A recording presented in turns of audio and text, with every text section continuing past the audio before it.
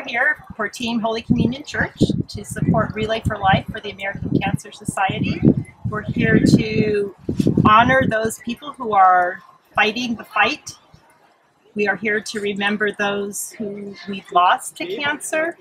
We have, to, we have to deal with our clients here to do their. you get free fries and you can grab a glass of.